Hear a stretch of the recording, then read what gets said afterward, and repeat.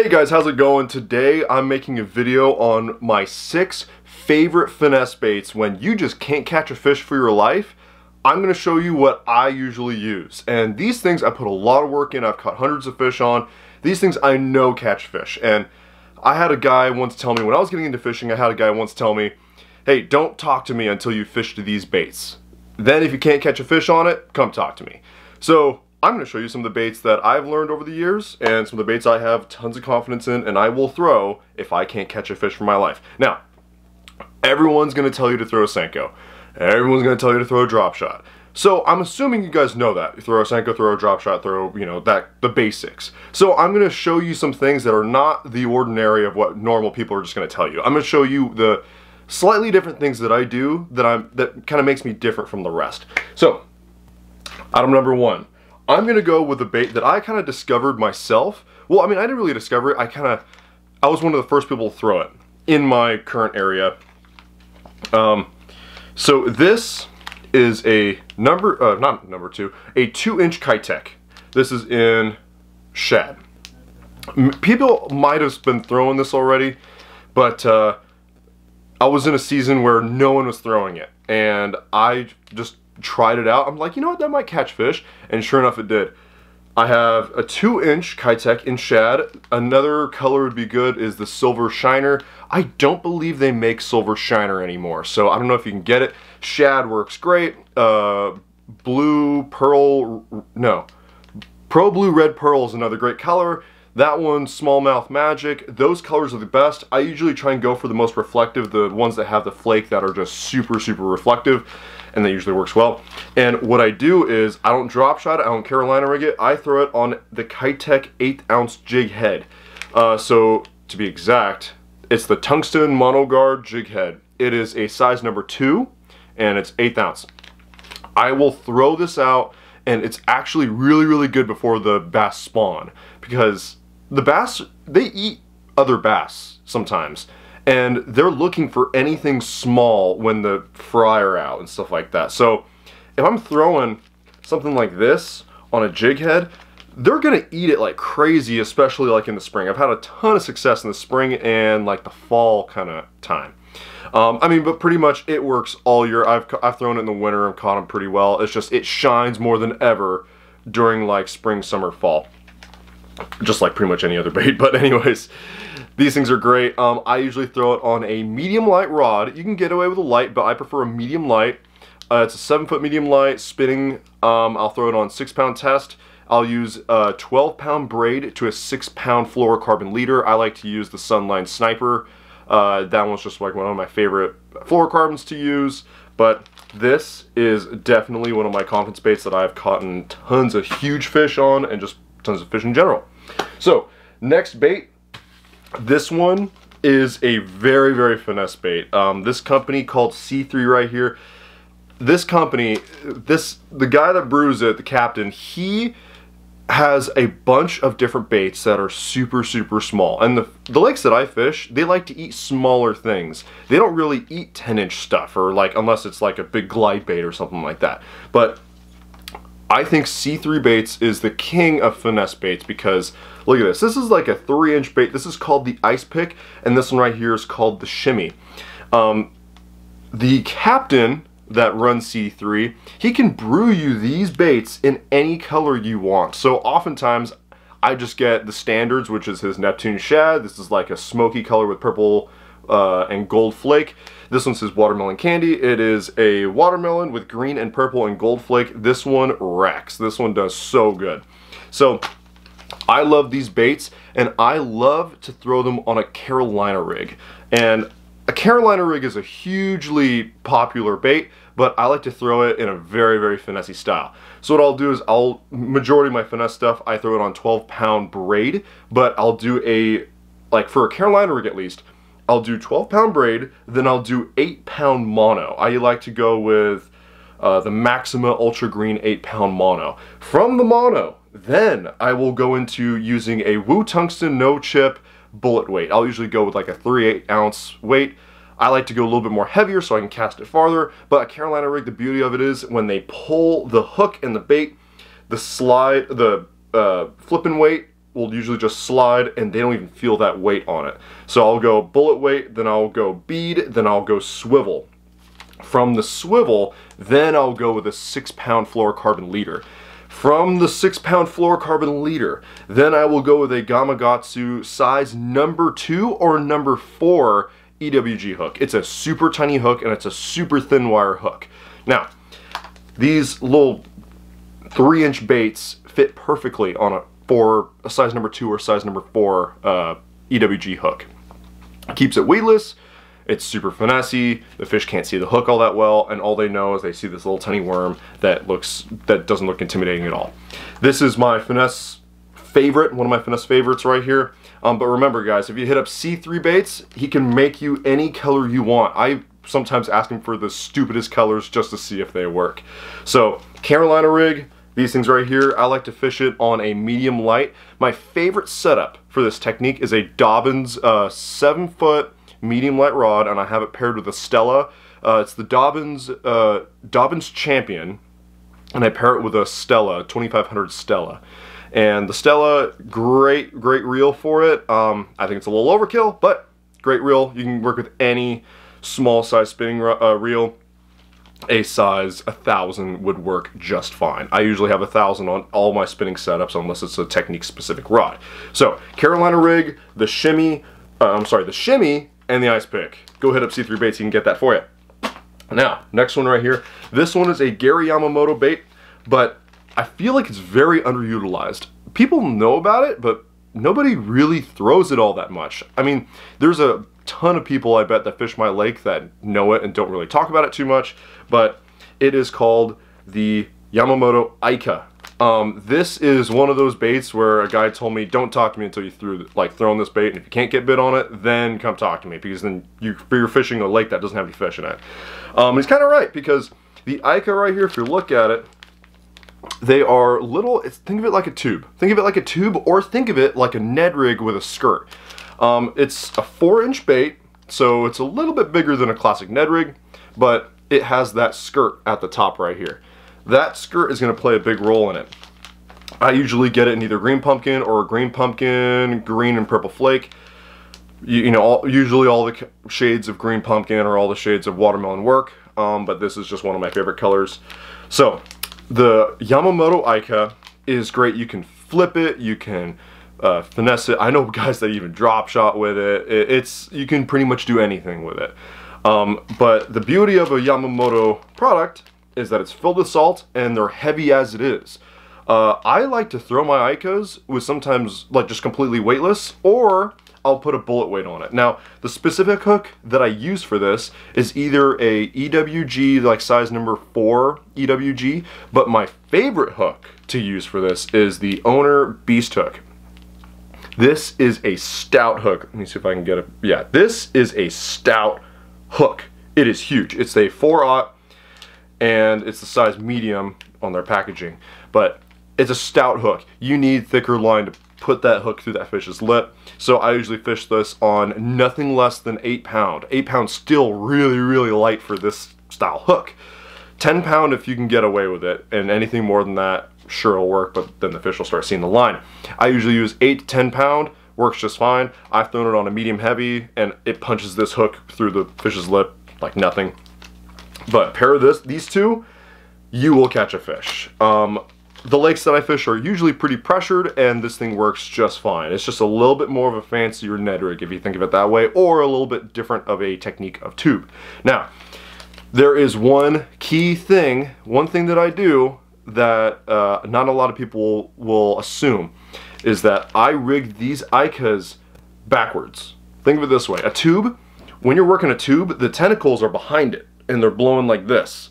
I want you to rig it like this, where the tentacles, these tentacles are in front. So the line is going like this. The tentacles are the first thing to hit that line.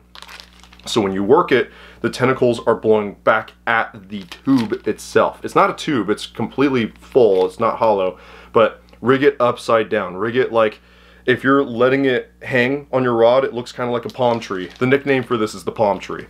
Um, but try throwing this thing, it will catch you fish. I usually throw it on a medium heavy. A medium would probably work just fine. I like a medium heavy. And fish usually go nuts for it. So there's that. Moving on to our third bait. This one is, everyone knows about this. It's the Ned rig. Um, but I have a couple different tech, a couple different things I do differently than the rest. Yeah, the typical Ned rig is done with the Z-Man style, where it's the uh, ElaZtech or whatever, something like that, and it lasts for a long time. Yes, it does, but I change it up a little bit. I use the C3 Baits Warthog. Now, the beauty about C3 Baits, again, you can customize in any color you want. Sometimes I ask the captain to brew me a color that is usual for a Ned rig, but I have him brew me sometimes colors that are a little different. I've been catching him on a like a customized color that I asked for. It's a brown with purple and gold flake. Yeah, purple and gold flake. And it catches him good. This one in particular is the, his purple rain. Um, this one would be good. I mean, it's caught in clear water too. This Usually all the colors are pretty darn good, but go natural if you can't figure out a color that you want. So this right here paired with a Woo Tungsten Ned Rig head. Let me see if I can zoom in on that, if it can cover, yeah, there we go. Woo Tungsten Ned Rig head. It's tungsten, which is awesome. So it's super sensitive, and not only that, it has a label. Let me see if I can get it on camera for you. Yeah, right there. It has a label on all their heads of what or how heavy the head is. So if you ever throw them in your tackle box and they get kind of scattered around and you're like, oh, I need one sixth, it will show you on the back of the jig head and you don't have to worry about it. Um, they come in black, green pumpkin, and brown. I love brown. Brown is like my green pumpkin. I will throw brown before green pumpkin any day. Um, and it has that super nice uh, bait keeper right there. And another great thing about this hook, Z-Man doesn't do this, but Woo Tungsten has a Gamakatsu hook on it. So it is super sticky sharp. I never have a problem driving that hook through the fish's lip. Works every time. I've caught in smallmouth, stripers, largemouth, everything on it. I caught a trout on it, actually, too. it's weird. But I paired these two up, the C3 Baits Warthog with the Woo Tungsten Ned Rig head, Ned Rig, head in 1 6th. One thing I found is that anything lighter than 1 6th, the fish will pick it up and walk away. They won't feel that weight. They'll they'll think it's natural and they won't drop it. Anything heavier than that, I've noticed that fish will pick it up and they'll drop it after like three seconds because they think it's too heavy and there's something wrong about it, so they just drop it. At 1 6th or lighter, the fish will not be able to tell that it is foreign and they'll usually put it in their mouth and walk away with it. So, this is my pairing. Ned Rig Warthog, the C3 Baits Warthog with a Woo Tungsten Ned Rig, uh, Tungsten Ned Rig head. Oh, that's so hard to say. Ned Rig head in 1 6th brown. Um, I usually fish this on a medium light rod and I use six pound test all around. Um, the beauty, well, not the beauty, the way I work this thing I will cast it out and I will start it out in inches of water. I'll start it out in like, sometimes I'll hit the shoreline not even in the water yet, and I'll slowly work it in. The Ned rig, you have, the, the way you work it is you want it to stand up on its own. A lot of like Z-Man products are, you know, the plastic is buoyant, um, but this Ned rig head is so flat, feel it, it's super flat and super wide, so it forces that plastic on the back to stand up straight when you work it right. So I'll start it off on the shoreline, I'll start working it back. And when I work it back, I do short little hops or a slow pull. A big problem is people will treat finesse fishing techniques like power fishing and they'll just pump it or they'll rip it and they'll like work it super fast. These techniques that I'm showing here are meant to be fished pretty darn slow. Or at least if you're having a tough bite, you want to work it slower. So when I cast it out there, I let it hit the bottom then I'll give it like a couple twitches and kill it for a couple seconds. One thing I've noticed majority of the time is all these baits that I'm showing you here, they don't hit it when it's moving. They hit it when it's motionless. That's the key. So when I'm casting out there, I know I'm not getting bit when I'm working it, but right when I stop, that's when I tighten my line to it, get good contact with that bait, and just wait for that thump.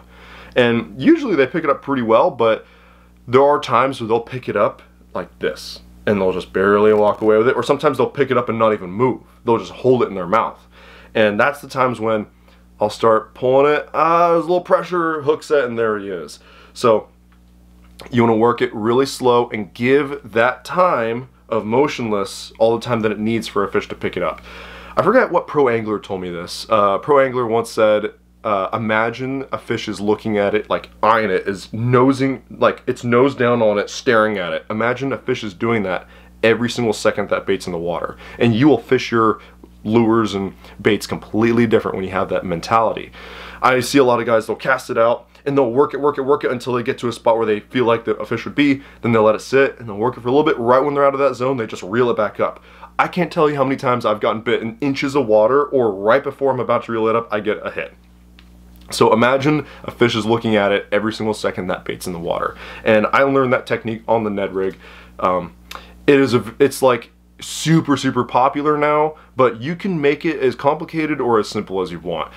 If you want to make it super simple, just go get any old Ned rig at the store, any old head, cast it out, you'll probably catch a fish. But if you want to make it a little bit more specific and have a better chance of matching your hatch or matching the lake and matching all your gear, this is a way to go. This is my favorite way to go. Um, so again, C3 baits, completely customizable. He can brew you any color that you want with any kind of flake you want. I get the basics, I get slightly different, and I also get obnoxious kind of colors. I asked him for like a bright blue Ned rig one time, and uh, I have yet to fish it, but I, I end up throwing other colors, but he can brew you those types of colors, and that's the beauty of C3 baits.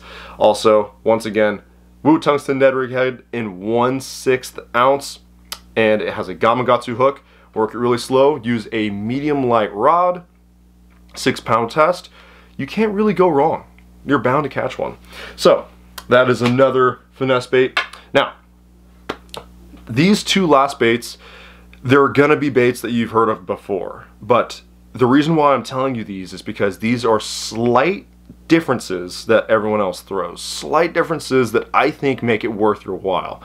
Now, everyone's heard of RoboWorm, and you're probably thinking, oh gosh, he's gonna show me a green pumpkin four and a half inch worm. It's not what I'm gonna do. Here is a RoboWorm that I have grown up fishing. And this was like my first ever, actually this is my first ever confidence bait right here. This is RoboWorm four and a half inch straight tail worm, but the key that I want you to do or get is the bait ball color. Bait ball. If you look closely, this is gonna be kind of hard to see, but it has reflective flakes like a chromish like color reflective flake, like a silver flake, but it is clear top with a purple base to it. A lot of people throw the hologram shad roboworm to match a bait fish. And a lot of people know the color MM3 or Margarita Mutilator. Margarita Mutilator is like the standard for finesse fishing. A 6 inch Margarita Mutilator or MM3, the purple worm, everyone has a purple worm on their boat. But here's the thing, this is why this is slightly different. I like to call it a mixture of hologram shad and MM3 or margarita mutilator because it's purple, but it's clear with reflective chromish colored flake, silver flake. My first ever confidence bait, I'm gonna tell you to rig this any way you want. I started out drop shotting it. Um, but I have gone, I've done pretty well in tournaments just Texas rigging it, putting a bullet weight in front of it.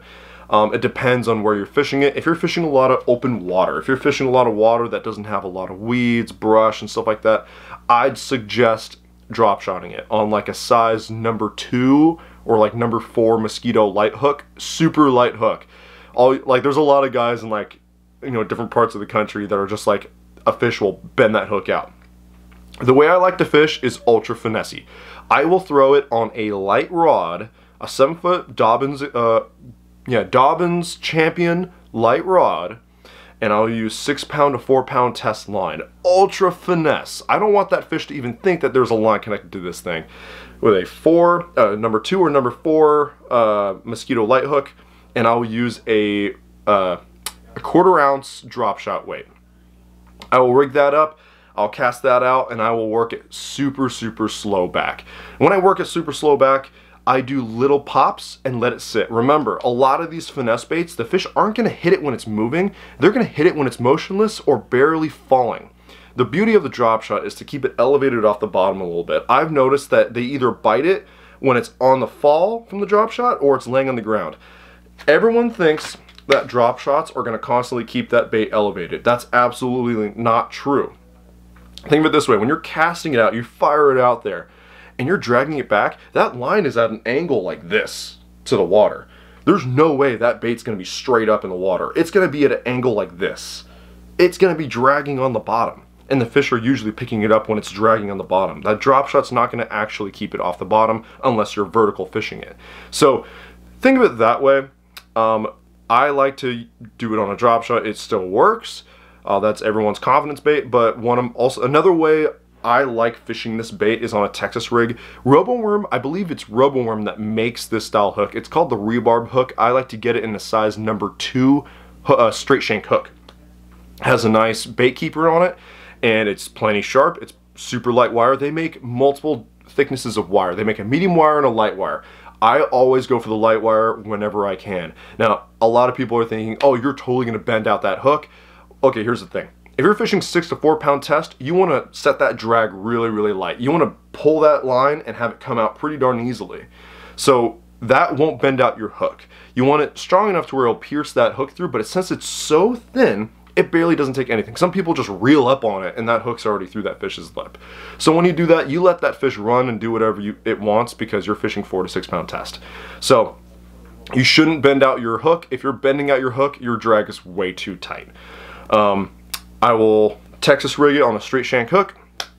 I'll put a 3 16th ounce or less bullet weight on the front. I like to use the Woo Tungsten No Chip flipping weight and I'll put that on the front. So remember this, guys. 3 16ths. Personally, it, it, I'm, you know, my lake could be completely different than your guys's, but personally, I think 3 16th is the heaviest you can go before that fish is going to pick it up and just walk away with it. Any heavier than that, like quarter ounce, I start seeing fish pick it up and they'll just drop it because they're like, ah, it's a little too heavy, it doesn't feel right, so they'll drop it. So 3 16ths, I've noticed a lot of fish will just pick it up and walk away with it because it's just light enough where they don't feel it, but heavy enough where you can keep good contact with that bait. All these baits right here, another tip, all these baits, you want to practice good contact with your bait. I see way too many times someone's to cast it out. Once it hits the bottom, they engage their reel and they hold it and that line goes down and it just squiggles all on the surface and then it gets to your bait. You're not to feel the slightest tap on that bait. When that line is so coiled up and so just like making loops on the water if you're fishing straight fluorocarbon or mono, you're not going to feel anything. I don't care how sensitive your rod is. You're not going to feel it. You're usually going to see your line move or twitch. I don't want you to do that. I want you, when you cast it out, right when you know that that bait's on the bottom, I want you to reel up to where your line has a gradual bend to the uh, to the bait where all you have to do is move it a couple inches then your line's super tight and then you're actually moving the bait if you keep that practice then that makes your expensive sensitive rod worth your while. And if you want to go the next step I suggest using braid. All of my rods have braid.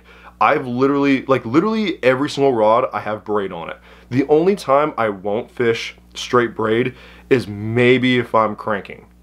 But still, I usually try and go braid, then a really long mono leader, but braid has no stretch. It will make everything way more sensitive. If you have a really nice, expensive, or you know the best rod you can get, most sensitive rod you can get, paired with braid, and you keep good contact with that bait, you're gonna feel baits so much more clearly, and it's gonna make fishing so much more fun. So guys, once again, this is the Roboworm four and a half inch straight tail worm in bait ball. Remember, it's bait ball. Another, like a couple other great colors that I throw, of course it's the Margarita Mutilator, of course it's the Aaron's Magic, of course it's the Morning Dawn, and Green Pumpkin. Usually green, any shade of green works. I like to be more reflective. I like, if I can have a green pumpkin with some sort of red flake or just something that reflects light, I would usually go for that. If I can't find it, any shade of green will work pretty much any Roboworm will work if you think about it, but there's a couple colors that I truly believe give you a little bit more of an advantage. So that is Roboworm off to our last bait here. So this bait, you're gonna be like, oh, come on, I've already heard of this.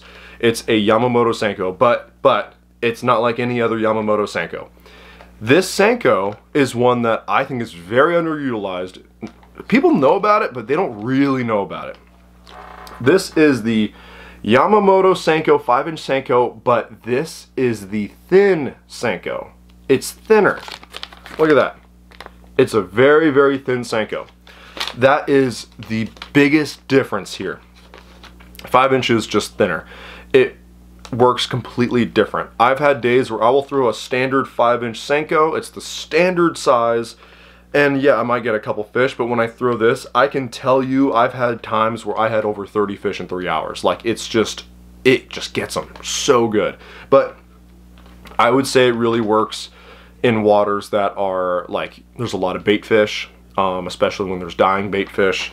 If you throw this into a school of shad, usually there's a couple shad that are slowly dying. This will look like a dying shad, barely fluttering through the water. Now, one of the things that I've seen is if you throw a four inch Senko, like the, the fatter, normal, standard size four inch Senko, it doesn't wobble all that much. It usually just goes straight down. This one has a very vivid wobble. Um, I've made a Senko test in another video. I'll link it down below.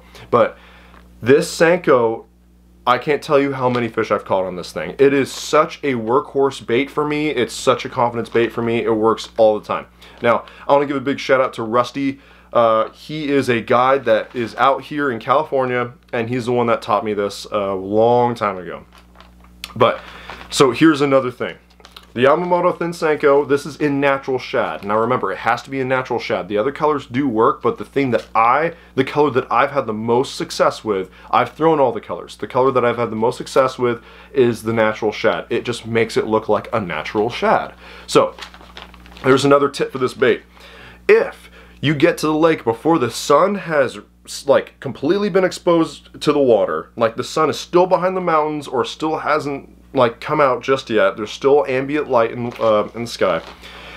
I want you to throw this color right here. This is the smoke with black and purple flake. This color I will throw before the sun comes out or if it's overcast or gray light or when the sun's going down. I will throw this color. This color works so much better than this color um, when the sun's not out yet or when it's gray light. Right when that sun peaks above the mountain, or uh, comes over the horizon, I want you to switch to natural shad. I've seen a clear difference in that. So remember guys, it is the natural shad and the purple, black, and smoke, uh, pur purple, black flake, smoke color, I guess. Um, a lot of the Senkos catch fish, all the Senko colors catch fish. It's just, to be more particular, it's the thin Senko. So, the hardware that I use for it, I will always throw it weightless and I will throw it wacky style. Um, if you want, you know, if you ask me, am I a wacky style or Texas style kind of person, I'm always going to throw it wacky. Um, there's a time and a place for Texas rig, and I will only throw Texas rig when it's like there's a lot of brush, there's a lot of weeds or slime or whatever it is. I will throw a Texas rig. But I never ever throw a Texas rig if I don't have that kind of stuff. I will throw a wacky, wacky rig. Um, the Things I will do for this, a lot of people put like a little ring around it or they'll use a special hook. The thing I use is the, I believe it's called the G7. Uh, the G7 is like a clear tube that you can find and it's super lightweight, it's clear, you can put the hook right through it and it keeps your hook really well on that thing or I will use the Wacky Saddle. The Wacky Saddle, what's great about it, comes in two sizes. There's a standard size that will fit a standard Senko, but they make a smaller size that fits perfectly. It's odd, it's so weird how perfectly it fits on the natural shad thin Senko. I usually use that. I put a Gamakatsu size number one finesse wide gap hook. I will put that on my Senko and I will throw it on six pound test on a medium light rod. Medium light is like my workhorse rod. I use Dobyns Extremes, I use the Zodiases, like you don't need the super high-end rods for it. Yes, the better the rod, the better, you know, more sensitive it's going to be. I use a Zodias or I use a Champion, uh, Dobyns Champion. Those work great for me. Cast this out. I like to work it like all my finesse baits. I'll start it off in the shallow and I'll start working it back. I've noticed they will bite this bait on the fall a lot. They'll bite it when it's just fluttering down. So Rusty taught me how to throw this thing. What I usually do is when I cast it out, it's gonna hit the water and it's gonna start fluttering down. Now, I don't keep close contact with that bait when it's fluttering down because if I do keep close contact, keep that line tight, it's not gonna fall straight down. It's gonna fall at an angle where my boat is. I don't want that. I want it to fall straight down. So I'll give it a lot of line out. I'll let it sink and I'll just watch that line. I even have a rod rigged with high-vis yellow braid just so I can see it better on the water. You don't have to do that. I, I've caught the majority of my fish without using the high-vis yellow. But anyways, I'll throw it out like that and I'll let it flutter all the way down. Once it hits the bottom, I'll let it sit for two seconds. After it sits for two seconds, nothing bites it. I'll give it one, uh, I'm sorry, two pops up. So one, two. So it jumped off the bottom, maybe like three feet. Then I'll let it flutter back down again. Wait two seconds. After two seconds, I just reel it back up. I've noticed majority of the time it bites it on the fall or when it's just hitting, when it like just hit the bottom. So you gave it two chances to fall, two chances to sit on the bottom. If there's not a fish wanting it, it's probably not gonna bite it again. So that is the Yamamoto Thin Senko, and that is my one of my favorite finesse baits right there. Now, all in all with these finesse baits, these are baits that I've had personal success with. I don't know if they're gonna work well on your lake, but I can guarantee you at least three of them will.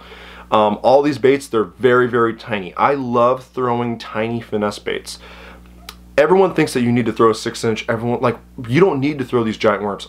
Bass have eyes like a hawk. If you're fishing clear water they will see for like 15 feet. They will. I've seen fish come so far just for a little tiny bait. Um, but if you're fishing a little more muddy or a little bit more stained water i would suggest matching the color to your water clarity. Absolutely. Um, go with like a darker color go with a brighter color. But i like to stay really really small like if I hit four inches, four inches is like the max size I'll go. Like four and a half inch Roboworm, that's like, I won't go to the six inch all that often. I usually stay at the four and a half. Um, I like fishing those two to three inch baits. They just get bit so well and it's such a night and day difference. So guys, down below, I'm going to type in all the baits that we talked about today and the colors that I've had a lot of success with. I want you guys to go try them and please catch some fish on it. Please give them some time. The way I learned these baits is just dedicating some time to them to catch me some fish. And if you have a day where you just can't buy a bite, you have a lot of time to dedicate for these baits. So don't be afraid to get, uh, you know, spend some time on these baits because I guarantee you they will catch you fish. And if they don't catch you fish, I don't know if there's any fish in your lake. so guys, I'm gonna be posting a lot more videos on just tips. I'm gonna be taking videos on my trips and I'm going to be showing you guys all the baits that I throw and the reasons why I throw them and how I throw them. So guys, stay tuned for those and I will catch you guys later. Peace.